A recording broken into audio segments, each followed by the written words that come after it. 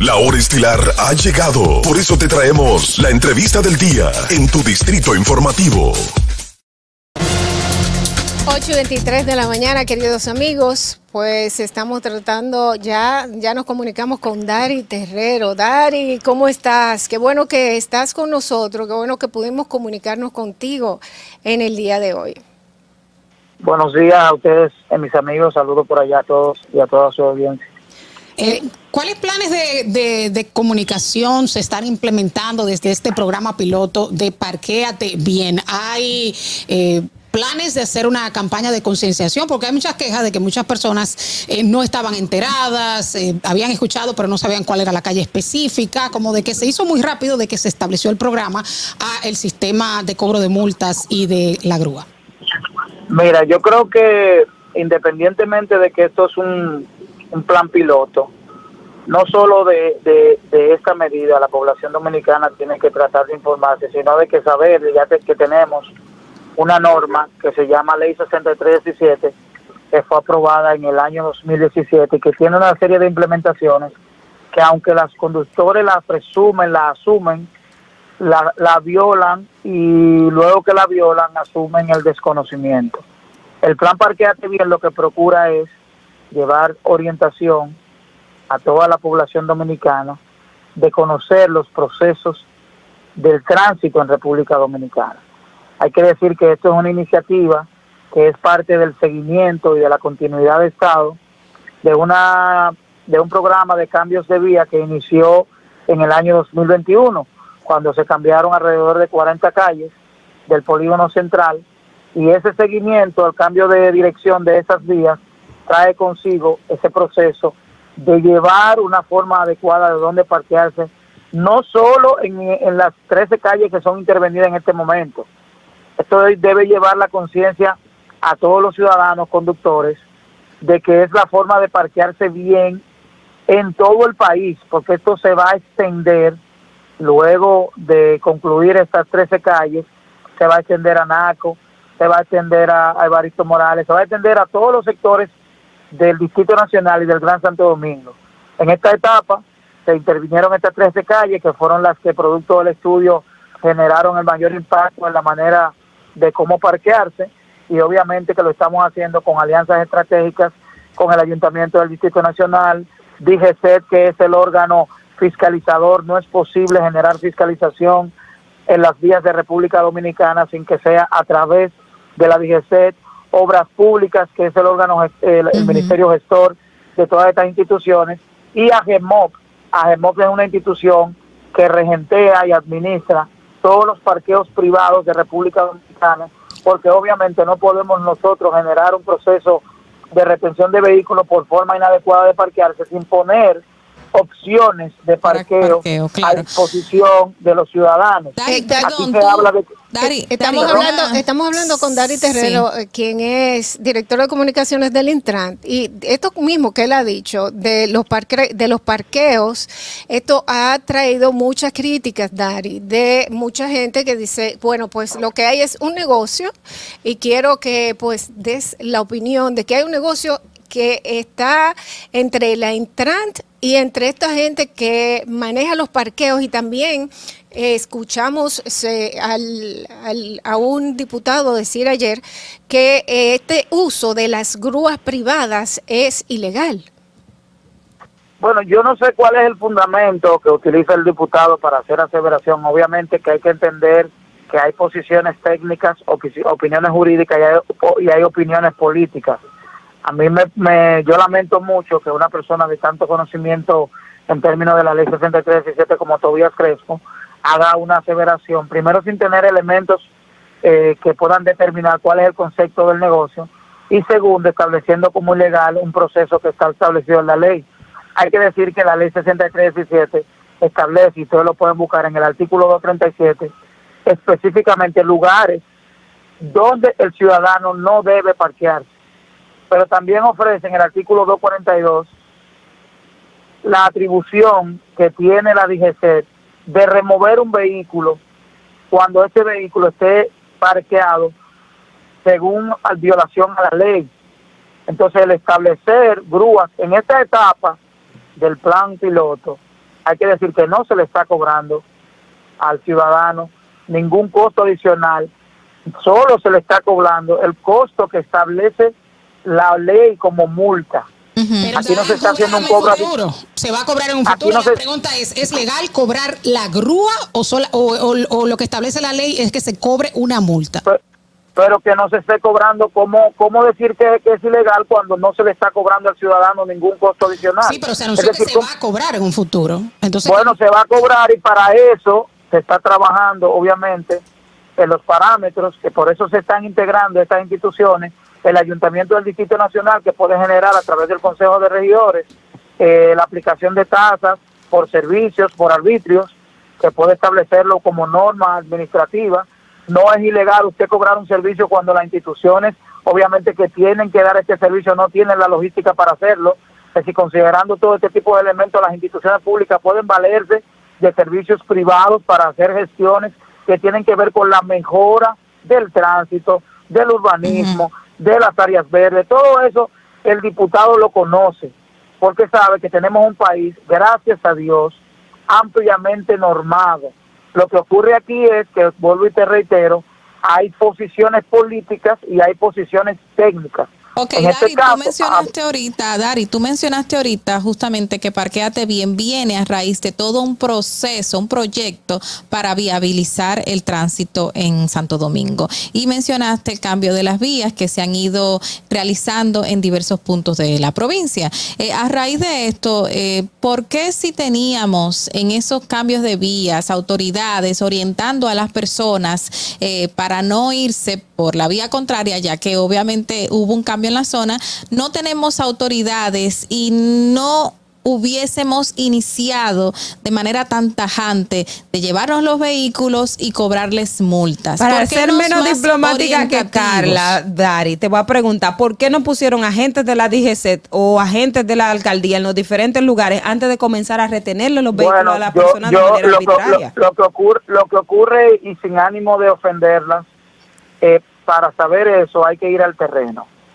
Por ejemplo, antes de, llevar a cabo ese plan piloto, se hizo un proceso de señalización de toda la vía, un proceso de orientación a todo el que transite en esa zona. Si ustedes van hoy, cuando ustedes salgan del programa, hagan un recorrido por esas 13 calles y verifiquen si esas 13 calles, le voy a dar las calles para que ustedes la noten y hagan su recorrido. Nosotros la tenemos, nosotros tenemos. Ah, bueno, ustedes hacen, ustedes hacen un recorrido. De, eh, información previa a todas luces, por lo menos desde los medios y en, las redes las personas las desconocían. Si se hizo, no se sabía. Entonces hubo un fallo ahí. Bueno, hay suficiente comunicación, esto se comunicó con alrededor de 15 días de antelación, se comunicó en toda el área, se hizo un proceso de, de levantamiento, se hizo un proceso de levantamiento, se hizo un proceso de señalización tanto en la, ustedes van y cruzan porque no es que no hay no es que no hay donde parquearse. No es que usted no se puede parquear en la vía. Hay lugares específicos en los cuales usted no debe parquearse. Por ejemplo usted debe parquearse en la misma dirección que va la vía. Una eh, son calles de una vía al lado izquierdo de la vía usted tiene lugares donde parquearse y donde no porque obviamente ustedes que transitan en las vías se dan cuenta que uno de los mayores problemas que hay en la circulación de vehículos en, el Gran Santo Domingo y en el país es, el doble parqueo, el parqueo en paralelo, que es una calle. Y, ese, exceso de vehículos que estaban en, en, los dos lados de la calle, ¿dónde van a ir el otro, el otro, el, exceso de vehículos que no se va a poder parar en la siguiente fila paralela? Bueno, esto, esto es parte de que también tanto los comercios que áreas residenciales, tanto los comercios como los restaurantes, las oficinas, tienen que también ir previendo que pues, si usted va a imponer un, un tipo de negocio, tiene que también establecer una manera de dónde parquearse, porque al final a quien afecta es a ustedes. Por ejemplo, cuando ustedes... Pero el ayuntamiento es que tiene que darle el permiso para tener los espacios de, de donde poner el o sea, el estacionamiento, o sea, que hay un problema estructural de hace muchísimo pero tiempo. Tenemos, pero precisamente tenemos un, un problema histórico de República Dominicana y porque tenemos un problema histórico, no podemos detenernos a dejar de tener soluciones. Tradicionalmente hemos tenido un desorden en la capital, hemos tenido un desorden en el país conforme a la forma de manejarlo, pero no podemos nosotros quedarnos de brazos cruzados porque ha sido así siempre. Una última pregunta, ¿cuánto es la multa y dónde tienen que irlas a pagar, Dari? ¿Cuánto es la, y dónde La multa es la misma multa que se establece la ley, una multa de mil pesos. La misma multa se paga conforme al mismo procedimiento que utiliza que se utilizan para cualquier otra multa de violación de semáforo o de cualquier otra violación a la ley, se paga a través de las plataformas bancarias que hay. El parqueo utilizado para parquearte bien está ubicado no es en el canódromo, es eh, un parqueo que se ha dispuesto para que los ciudadanos no tengan que ir a grandes trayectos ni se sientan incómodos porque ya es suficiente generar una incomodidad con el tema de la movilización del vehículo y el parqueo está ubicado en la Tiradentes número 17, que es el centro que se ha utilizado para el parqueate bien. ¿Y Ahí usted va, puede realizar, puede realizar, puede realizar todas las operaciones, puede realizar ahí todo el trámite de pago, llevar los documentos del vehículo, la, licencia, la matrícula, el seguro y el recibo correspondiente al pago de la multa. E inmediatamente el vehículo se le entrega. El vehículo está en un parqueo seguro, con seguridad, las grúas tienen un trato, tienen un manejo y una experiencia conforme a que el vehículo no tenga ningún tipo de daños. Y en caso de que se, genere alguna situación que se escape de todo este tema, hay una disposición de, de subsanar cualquier daño que se le genera al vehículo, por tanto que esta medida no procura afectar a los ciudadanos, sino que procura llevar conciencia al ciudadano, a los mismos que transitan, a los mismos que usan la vía, a los mismos que nos quejamos cada día de que las autoridades no hacen nada para mejorar el tránsito, a que utilicen una forma adecuada de parquearse. ¿Por qué?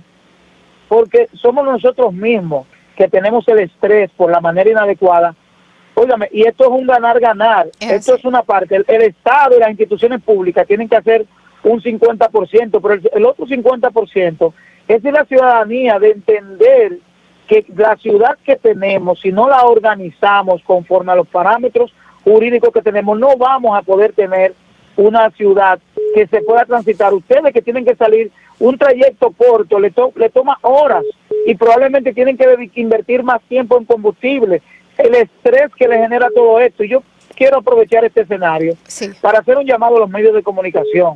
Los medios de comunicación jugamos un papel importante conforme a la aplicación de esta norma y no dejarnos llevar ni llevar, dejarnos involucrar en politizar cosas que al, hay cosas que son de hay cosas que son prácticas no necesariamente son políticas. Hay cosas que son prácticas y que hay que aplicarlas bueno pero hay cosas prácticas Dari que no necesariamente son políticas porque si el Estado no me crea las condiciones para dar respuesta a una situación que está dada hay que cuestionarla. Entonces tienen que tener todos esos elementos. estoy, estoy, de acuerdo contigo estoy de acuerdo contigo de que el Estado tienes que prever y por tanto nosotros como parte de ese Estado estamos tratando de, de, esta posición de llevar soluciones en lo que nos corresponde. Por ejemplo, nos corresponde ordenar y normar el tránsito y la movilidad.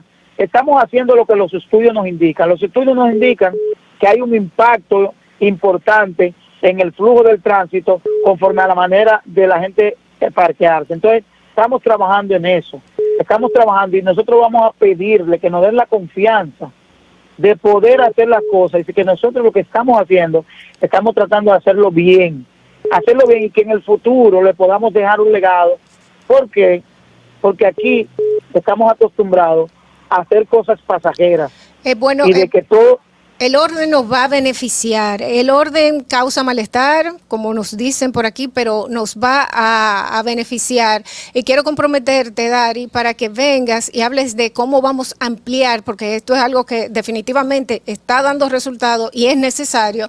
Cómo se va a ampliar para que la gente, pues, eh, vaya a irse, vaya preparándose mentalmente a que tiene que organizarse. Lo estamos comunicando cada día que el próximo lugar que vamos a impactar con Bien es el sector de Naco. Y, y, que la gente entienda, que la gente entienda que esto va a ser en todo el Distrito Nacional y que vaya asumiendo, porque ahora mismo te dicen que no hay información, pero esto es un tema que todos los medios de comunicación lo están difundiendo. Todos los medios, aquí no hay un medio de comunicación que no haya tocado esta iniciativa. Todos los medios de comunicación. Entonces no hay que ir de manera particular, casa por casa, a decirle a la gente que donde hay una señal de no estacionarse, usted no se debe estacionar. No hubo orientación. Y donde hay una señal de pares, usted no se debe parar. El tiempo no, no, nos alcanza de verdad y queremos eh, eh, seguir hablando del tema contigo. Te comprometemos para, eh, ya sea en esta semana o en la próxima, para que hablemos un poco más amplio del tema. Por favor. Pero, porque hay, hay muchas interrogantes, de verdad que sí. Muchísimas no, no interrogantes, tenemos que informar, porque yo entiendo que lo que está haciendo el Intran va a ser para beneficio de toda la ciudadanía. Dari Terrero con nosotros, muchísimas gracias, cariño. Gracias a ustedes. Un abrazo. Bueno, señores, vamos a hacer una breve pausa. Inmediatamente regresamos con Distrito Informativo. Distrito Informativo.